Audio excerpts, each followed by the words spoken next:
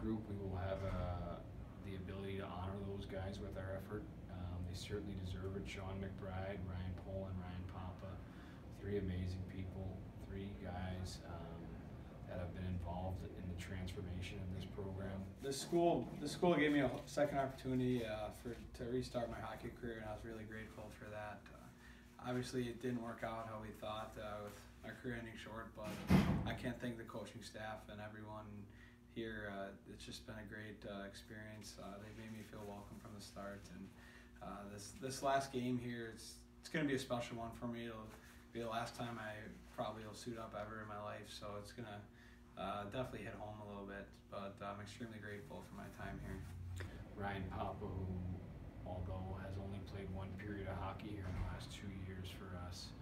Um, he's a guy out early with guys, working with some of our younger players, doing some skill work. He's an incredible, incredible teammate. Yeah, uh, he transferred over here uh, last year. Uh, he's a good teammate. Uh, he's a great kid to be around. Um, and I know he's going to do a lot after college for himself.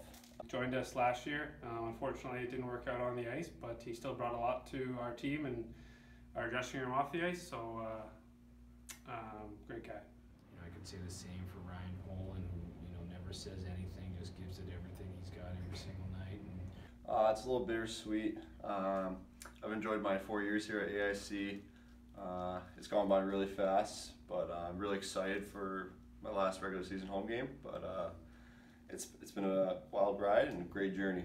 Yeah, well, where do you start with that guy? He's a he's a goofy kid. Uh, great great team guy though. You know everyone has fun around the kid. You know he takes a lot of heat from the guys, but you know uh, he he means well. The guy he cares for his teammates and uh, he's a great guy to play with. A guy that's been with me since uh, day one here at AIC. Um, uh, tons of classes together, tons of great memories, and uh, glad I could share this uh, last year and this senior night with him. Shawn McBride, an amazing leader, as good a human being as there is around.